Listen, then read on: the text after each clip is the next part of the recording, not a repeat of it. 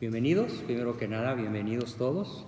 Me da mucho gusto ver un público tan numeroso y tan atento. Y todavía más gusto me da estar viendo detrás de mí de manera permanente a mi Señor crucificado. Estar viendo también aquí a dos sacerdotes jóvenes, valientes, aventados, que gracias a, a ellos, sobre todo al Padre Martín en este lugar, puedo estar con ustedes. Me siento muy bien acogido, eh, de muy buen humor, y les voy a platicar hoy de un tema, mañana de otro tema, pasado mañana de otro tema, de manera que a lo mejor logremos que incluso vengan más personas. ¿Cuál va a ser el tema de hoy? Bueno, primero quiero explicarles que cada uno de los temas está respaldado por un folleto de, por ejemplo, el de hoy tiene 18 láminas a color, impresas a color. Los que no puedan, por razones económicas, comprar los libros en los que se apoya mi ponencia, que se llama Solo la persona es solo la persona virtuosa es feliz y el otro de dos tomos también Solo quien se siente amado puede ser educado. Si no pueden comprar los libros, claro, se gastan mucho más en unidad al cine. Pero si ustedes creen que es caro invertir en desarrollo humano, pues prueben con la ignorancia. A ver qué es más caro. En fin, pero si no puede alguien comprar los libros, no se podrá negar a dejar en una canastita 5 dólares por folleto con todo el tema que hoy voy a desarrollar, con todo el tema de mañana y con todo el tema de pasado mañana, simplemente para pagar la tinta y el papel y alguna neurona que dejé por ahí embarrada. Bien, ya lo saben, allá está mi amiguísima, eh, casera, asistente Doña Luz, quien nos atenderá para que puedan adquirir los libros y eh, los folletos, los que no puedan comprar los libros, o si quieren comprar ambas cosas, pues qué bueno, ¿no? Pero no es obligatorio, por supuesto. Bien, eh, muy importante también traje mis libros de historia, porque me interesa muchísimo entre mis paisanos que viven acá, del otro lado de la frontera, me interesa mucho que sepan historia historia de México. Finalmente pues, seguimos siendo mexicanos donde quiera que estemos, a menos que por aquí haya algún europeo, levante la mano. No, pues nadie, qué bueno. Entonces, me traje mis libros de historia sobre las personas que forjaron México.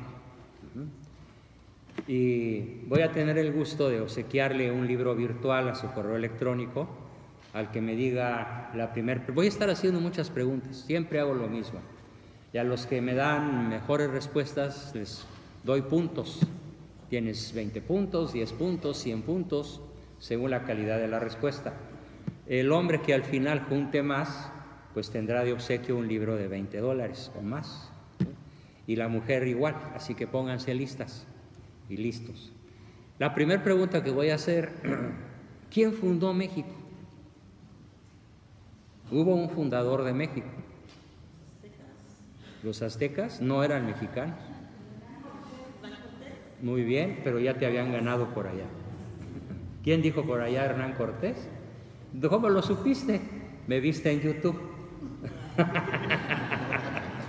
bueno, pues se vale, te llevas los primeros 20 puntos. Muy bien, entonces ahí está la biografía de Hernán Cortés un personaje que nos han pintado como feroz, asesino, que nomás vino a robarse nuestro oro y mil mentiras más. La verdad es que él hizo exactamente todo lo contrario en el año 1519. O sea, exactamente hace 500 años, él celebró la primera misa en este continente, desde Alaska hasta Argentina, la primera misa. Él fundó el primer municipio civilizado. Y otros 20 puntos al que me diga cuál fue. ¿Mexicano? ¿No saben historia? Muy bien, otra vez la misma persona. bien, otros 20 puntos. La Villa Rica de la Vera Cruz, que significa la Villa Rica de la verdadera cruz, esa que está detrás de, mí. ¿Qué más hizo Cortés? En la misma fecha, por ahí de abril de hace 500 años, le pidió al padre Olmedo, su capellán, que celebrara la primer misa. Y luego cuando llega a Tlaxcala, a su paso hacia Tenochtitlan, lo primero que hace es liberar como a 200 tlaxcaltecas que los aztecas tenían en engorda para comérselos. Los sacó de las jaulas y les salvó la vida. Y gracias a esa acción, todo Tlaxcala se alió con Cortés. Así que la conquista no la hicieron los españoles, la conquista la hicieron los tlaxcaltecas. Y luego cuando llega al gran Teocalli de Tenochtitlan, lo primero que hace es derribar el ídolo mayor, se llama, iba a decir el nombre político, pero no, voy a decir el nombre correcto, Huitzilopochtli, lo derriba porque él ve que tiene costras de sangre de hasta medio metro de espesor, de pura sangre humana, y lo derriba porque era un ídolo feroz que exigía 200 mil vidas por año sacrificadas en el altar mayor. Entonces él cambia el sacrificio de personas por el sacrificio de la Santa Misa. Y podría decir mil cosas más de por qué Cortés es el libertador del indio y el fundador de México. Y así podría platicarles de Agustín de Iturbide, la persona que nos dio libertad e independencia respecto de España. No fue el cura Hidalgo, el cura Hidalgo lo único que hizo fue matar españoles porque eran españoles y retrasar 11 años la independencia. Ahí está el libro sobre él, sobre Iturbide. También podría platicarles sobre la reina Isabel, que gracias a ella y a su profundo catolicismo, la corona española ordenó que se reconociese al indígena como ser humano y que se respetase la tenencia de la tierra. Les platico, yo he estado en la ciudad de Tlaxcala y tengo amigos que tienen títulos de propiedad de la tierra expedidos por el rey de España con fecha de 1525 o 26 y los conservan como un tesoro y son legítimos propietarios de esas tierras que nadie les ha podido quitar porque fue un mandato real desde hace 500 años. ¿Cuántas cosas más podría decirles que nadie les ha enseñado. Por ejemplo, la batalla del 5 de mayo, que aquí se celebra como si fuera fiesta gringa. Todo el mundo cree que la ganó el general Zaragoza y el general Zaragoza estaba borracho en una carbonería.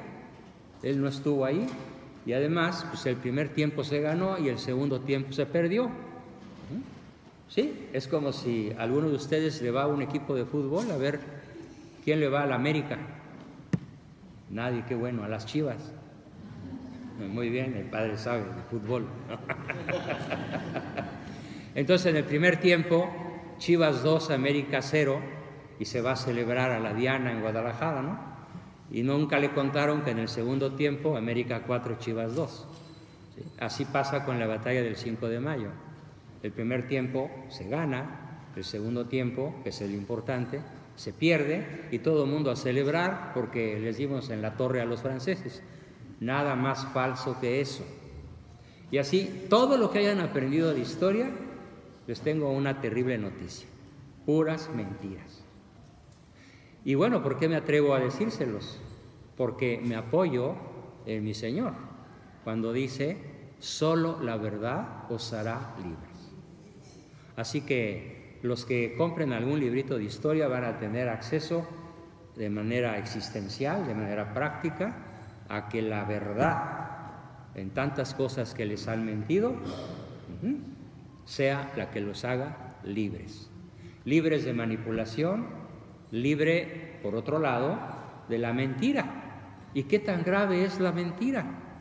¿Qué tanto deteriora nuestra vida? ¿Qué tanto afecta a nuestra salud mental? Nuestra salud espiritual, nuestra salud corporal incluso. Es tan grave vivir en la mentira que justamente al demonio, ¿cómo se le llama? el padre de la mentira. Entonces, ¿quién escribió la historia que aprendieron en la Escuela de México? Primaria, secundaria, prepa, universidad, pues la escribió el padre de la mentira, usando las manos de algunos políticos corruptos, ¿sí? Que se prestaron para mantener al pueblo en la ignorancia. Bien, entonces, les recomiendo por favor que si quieren aprender algo que valga la pena, aprendan historia aparte de lo que voy a explicar que está contenido en estos tres folletos. No, hoy pueden comprar uno, mañana otro, el viernes otro, eh, o a lo mejor alguien se lo quiere llevar los tres, no importa.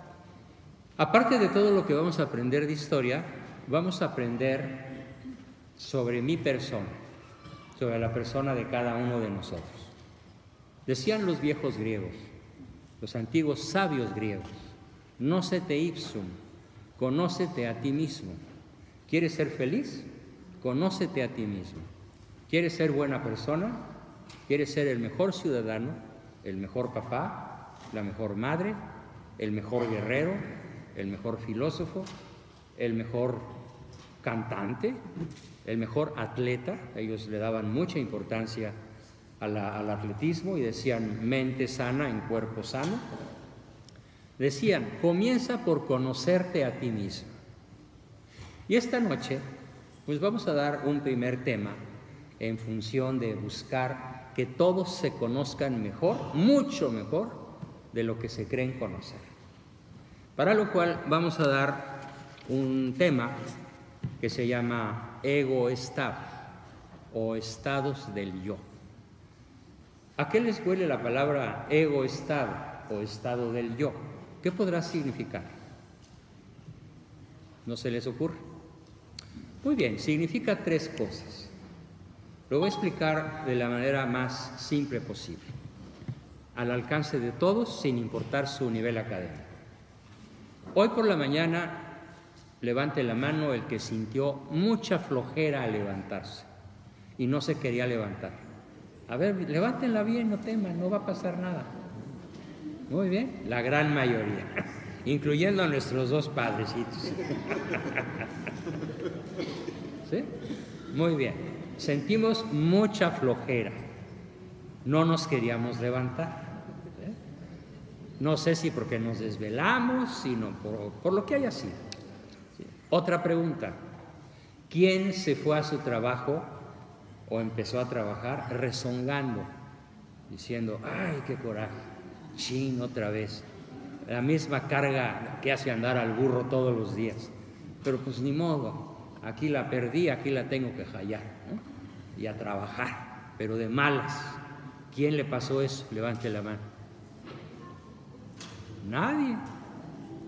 Muy bien, felicidades. Entonces fíjense, cuando se despertaron con ganas de no levantarse, estaban en un nuevo estado que se llama el niño. El niño que somos todos no se quería levantar. Pero con el paso de los minutos y las horas, todos nos fuimos a trabajar y yo pregunté, ¿quién trabajó de malas? Nadie levantó la mano. Eso quiere decir que cuando ya empezaron a trabajar, no estaban en el niño, en su estado niño. Estaban en qué otro estado. ¿Cómo lo llamaríamos? estado qué? Muy bien, ya me has escuchado. Ah, qué bien. Gracias. Pero mira, qué bien que te acuerdas, te anotas 20 puntos, por favor. ¿Eh? El estado adulto. Ahora fíjense muy bien, no pierdan de vista que lo que estoy comenzando a explicar es una herramienta que se llama ego-estados y sirve para conocernos mejor. Sirve para conocer mejor al cónyuge, para conocer mejor a nuestros hijos. Dice que no se escucha algunos que no lo escuchan. ¿Todos me escuchan?